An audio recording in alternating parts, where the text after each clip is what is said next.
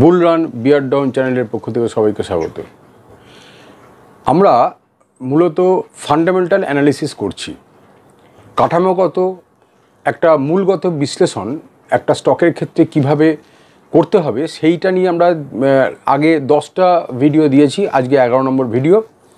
তাতে আমরা এক এক সময় এক একটা জিনিসের উপরে আমরা আলোকপাত করেছি। আজকের বিষয় হচ্ছে এফ স্কোর অ্যানালিসিস অর্থাৎ এফ স্কোর বিশ্লেষণ। ফার্স্টে জানতে হবে এফ স্কোর ব্যাপারটি কী? এফ স্কোর বলতে এখানে বোঝাচ্ছে ফিনান্সিয়াল স্টেবিলিটি স্কোরিং অর্থাৎ একটা ব্যবসার বা একটা কোম্পানির তার আর্থিক বিশ্লেষণ, আর্থিক স্বাস্থ্যটা কীরকম আছে, সেই বিশ্লেষণটা করার জন্য আমরা এফ স্কোর বিশ্লেষণ করি। এফ স্কোর বিশ্লেষণের ক্ষেত্রে আমরা মূলত কী জিনিসটাকে লক্ষ্য করি? আমরা মূলত লক্ষ্য করি এ স্কোর মানটা কত। যেমন, কোনো একটি ছাত্রের যদি তার রেজাল্টের বিশ্লেষণ করা হয় মানে তার প্রোগ্রেস রিপোর্টের বিশ্লেষণ করা হয়, সে কত মার্কস পেয়েছে এ পেয়েছে না বি পেয়েছে না সি পেয়েছে না ডি পেয়েছে না ই পেয়েছে, এইভাবে বিশ্লেষণ করি। তেমনি এফ স্কোর বিশ্লেষণের ক্ষেত্রে আমরা জিরো থেকে নাইন এই রকম একটি মানের একটা মাত্রা আমরা বিচার করি। জিরো থেকে নাইন এটি হচ্ছে ডিসক্রিট মান। ডিসক্রিট মান মানে হচ্ছে কখনো আপনি ওয়ান পয়েন্ট ফাইভ বা টু পয়েন্ট সেভেন এরকম পাবেন না। জিরো পাবেন বা এক পাবেন বা দুই পাবেন বা আট পাবেন বা নয় পাবেন এই রকমভাবে আমরা এফ স্কোর বিশ্লেষণটা করে থাকি। এই জন্য একে বলা হচ্ছে বিচ্ছিন্ন চলক মান দ্বারা একে নির্ধারিত করা হয়। এখন আমরা মূল জায়গাটাতে আসি যে কেন এফ স্কোর করা হয়। এফ স্কোর করা হয় এই জন্য কোম্পানির আর্থিক স্বাস্থ্য বিবেচনা করা হয় কোম্পানি একই রকম দ্রব্য সামগ্রী বা সেবা সামগ্রী বাজারে ছাড়ছে। এর প্রতিযোগী শিল্প বা প্রতিযোগী কারবারি সংস্থার সাথে এর কীরকম পার্থক্য আছে বা এর মাত্রা বেশি না, এর মাত্রা কম, আমার কোম্পানি ভালো না, আমার কোম্পানি খারাপ, এই সব বিশ্লেষণ আমরা এফ স্কোর দিয়ে করতে পারি। তাহলে স্বাভাবিকভাবেই প্রশ্ন আসছে যে, আমি কোনো স্টক নির্বাচনের ক্ষেত্রে প্রথমে আমি যদি এফ স্কোরটা দেখে নিতে পারি তাহলে আমি বুঝতে পারব যে আমি যে কোম্পানির স্টক কিনতে যাচ্ছি, সেই কোম্পানির স্টকটা আগামী দিনে আমার কিছু কিছু ফলপ্রসূ ভালো রেজাল্ট দেবে কি না অর্থাৎ আমি ভালো মুনাফা করতে পারব কি না কারণ আমাদের মূল লক্ষ্য হচ্ছে স্টক কেনাবেচার মাধ্যমে আমরা মুনাফার দিকটা তাকিয়ে থাকি, যে আমরা কতটা মুনাফা করতে পারলাম। এবারে এই এফ স্কোর অ্যানালিসিসটার ক্ষেত্রে আমরা একটা কথা বলব, যে বেস্ট ভ্যালু স্টক, অর্থাৎ সর্বোত্তম মানের যে স্টক বাজারে আছে, সেটা খোঁজার ক্ষেত্রে অন্যান্য ফান্ডামেন্টালের যে সমস্ত ইনস্ট্রুমেন্ট বা হাতিয়ারগুলো আমরা ব্যবহার করেছি, সেগুলো যদি আমরা নাও করি, শুধু এফ স্কোর বিশ্লেষণ দিয়ে আমরা কিন্তু সেটা করতে পারব। অর্থাৎ এফ স্কোর একটি শক্তিশালী হাতিয়ার এবং এই শক্তিশালী হাতিয়ারটা দিয়ে আমরা একটা কোম্পানির অনেক কিছু বিচার বিশ্লেষণ করতে পারব। এখন আমার বক্তব্য এইখানটাতে যে এফ স্কোর অ্যানালিসিসটা কীভাবে এলো আমাদের আলোচনায়? অধ্যাপক জোসেফ পিওট্রস্কি এই প্রথম এফ স্কোর অ্যানালিসিসের উপর জোর দেন।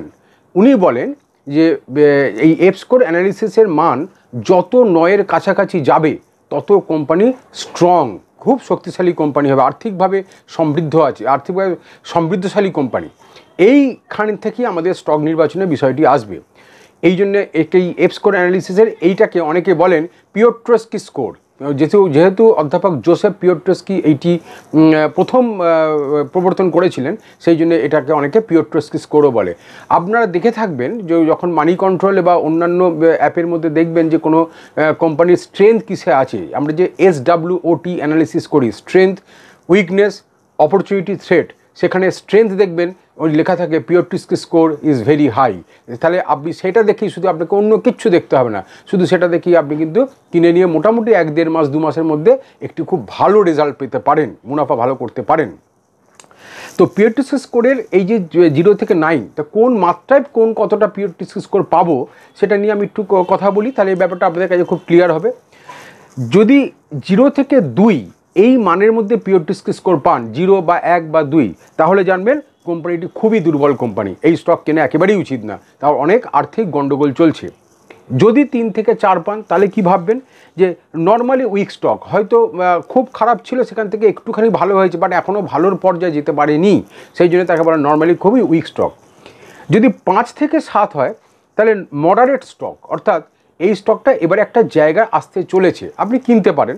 এই এই স্টক আপনাকে হয়তো চার, পাঁচ মাস যে কেউ অন্য জায়গায় যদি ভালো স্টকের ক্ষেত্রে আপনি এক দেড় মাস, দু মাসের মধ্যে ভালো রিটার্ন পেতে পারেন। এখানে হয়তো আপনাকে আট মাস, ন মাস বা এক বছর হয়তো ওয়েট করতে পারে। বা হয়তো এর ত্রৈমাসিক রেজাল্টের উপর ভিত্তি করে এফ চেঞ্জ হতে পারে। সেক্ষেত্রে এটা হয়তো ভালো রেজাল্ট করতে পারবেন। অর্থাৎ আপনি ভালো গ্রুপে আসতে চলেছেন। আর যদি জিরো থেকে নয় এর মধ্যে আট আর নয়ের মধ্যে থাকে। এই জিরো থেকে নয় স্কোরের মধ্যে আট কিংবা নয় এরম থাকে। তাহলে সর্বোত্তম কোম্পানি এটা, সর্বোত্তম স্টক। আপনি এটা চোখ বুঝে এটাকে নির্বাচন করতে পারেন এবং আপনি কিনে একটি ভালো মুনাফা তৈরি করতে পারেন। এই রকম জিরো থেকে নাইনের মধ্যে মোটামুটিভাবে আপনাকে আমি বলতে পারি কয়েকটি স্টকের কথা। কোটাক ব্যাংক বা ধরুন আপনি এইচডিএফসি ব্যাংক বা আপনি ধরুন সিইএসসি বা আপনি ধরুন ওইদিকে পেট্রোকেমিক্যাল বিপিসিএল কোম্পানি এরা কিন্তু এই এই ধরনের কোম্পানি টাটা স্টিল এরা এই ধরনের কোম্পানি আসলে এদের ফিনান্সিয়াল স্টেবিলিটি এতটাই সুন্দর, এতটাই ভালো যে আপনাকে অন্য কিচ্ছু জানতে হবে না। শুধু এফ স্কোর অ্যানালিসিস করেই আপনি কিন্তু এই এফ স্কোর বিশ্লেষণের মাধ্যমে আপনি সেই স্টকটা কিনতে পারেন এবং ভালো মুনাফা করতে পারেন। এখন প্রশ্ন যে এই যে পিওটস্কি সাহেব এই এফস্কোরের কথা বলেছেন, তাহলে এফস্কোরটা তৈরি হয় কীভাবে? যা দিয়ে আমি এফস্কোরটা খুব স্ট্রং স্ট্রঙ্গার কিনা এটা বুঝব কী করে? তার তিনটে দিক আছে। এফস্কোরের মধ্যে যখন আমরা আলোচনা করতে যাব, তার বিশ্লেষণ করলে এফস্কোরকে ভাঙলে আমরা তিনটে দিক পাবো। এক হচ্ছে প্রফিটেবিলিটি অর্থাৎ মুনাফা যোগ্যতা কতটা আছে কোম্পানির, সেটা থাকে। দুই হচ্ছে ফান্ডিং অর্থাৎ কোম্পানি কোথা থেকে টাকা পাচ্ছে, কত রেটে টাকা পাচ্ছে বা তার কস্ট অফ ক্যাপিটালটা কত বা এই ফান্ডের এই যে ফান্ডিংটা হচ্ছে সোর্সটা কোন কোন জায়গা থেকে আসছে। এখানে আবার একটা অন্য প্রসঙ্গ থাকে, সেটা অন্য ভিডিওতে আলোচনা করব। ফান্ডিং নিয়ে একটা বড় আলোচনা হতেই পারে। আর তিন নম্বর হচ্ছে অপারেটিং এফিসিয়েন্সি অর্থাৎ কোম্পানিটি কীভাবে তার কার্যক্রম চালাচ্ছে? অর্থাৎ কোম্পানি যখন চলছে, তখন কোম্পানি কস্ট কমাতে পারছে না কোম্পানি কস্টকে কমাতে পারছে না, সেটা একটা বিশাল প্রশ্ন থেকে যায়। ওই জন্যে আমরা সবসময় এপস করে অ্যানালিসিস যখন করব, তখন তার মধ্যে দেখতে পাবো যে প্রফিটেবিলিটি ফান্ডিং এবং অপারেটিং এফিসিয়েন্সির উপর ডিপেন্ড করে এপস্কোরটা তৈরি হয়। অর্থাৎ আপনারা এপস্কোর দ্বারা কিন্তু সহজেই স্টক নির্বাচন করতে পারবেন এবং তার ভিত্তিতে কিন্তু আপনারা অনেকটাই আপনারা ভালো জায়গায় পৌঁছতে পারবেন। এই কথা বলে আজকে আমি ওই ভিডিও সমাপ্ত করব। তবে আপনারা এই ভিডিওগুলি পরপর দেখবেন, তাহলে কিন্তু আপনারা অনেকগুলি জিনিস আপনাদের যে খুব পরিষ্কার হবে এবং আপনারা জানতে পারবেন, শিখতে পারবেন, এগোতে পারবেন। এই কথা বলে আমি আজকে ভিডিও স্টপ করছি। নমস্কার।